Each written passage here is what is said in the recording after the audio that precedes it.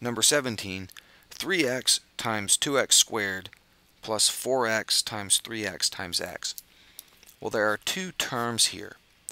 We're going to start by simplifying each term. So let's look at this one first. 3x times 2x squared. Rearrange all these little pieces in your head. Think of 3 times 2, that gives you a 6, and then think of the x times the x squared, that gives you x cubed. So this first term is equivalent to 6x cubed. And then we have plus this next term. So plus, and let's simplify this now. Take the 4 times the 3, those multiplied together, everything there is multiplied. So the 4 times the 3 is a 12, and then we have x times x times x. That's x cubed. Now look at these two terms, 6x cubed plus 12x cubed. Those terms have exactly the same variable part. They're both x cubed terms, so they can be combined. 6x cubed plus 12x cubed is 18x cubed.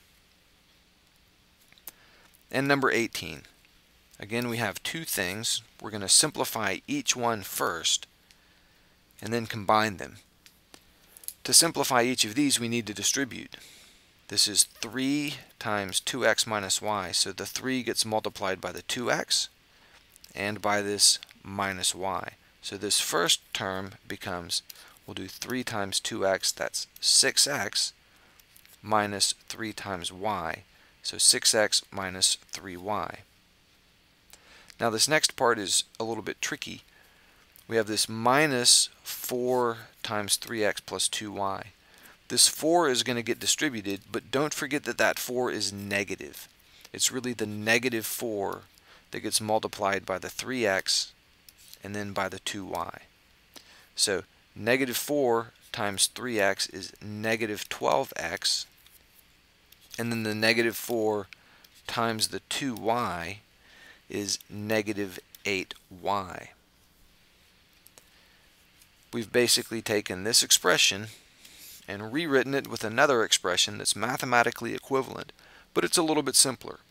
We're not quite done yet though. We need to take our 6x and the negative 12x and combine those. 6x and negative 12x combines to give us a negative 6x. So that's those two terms are now taken care of. Now we need to combine the negative 3y and the negative 8y.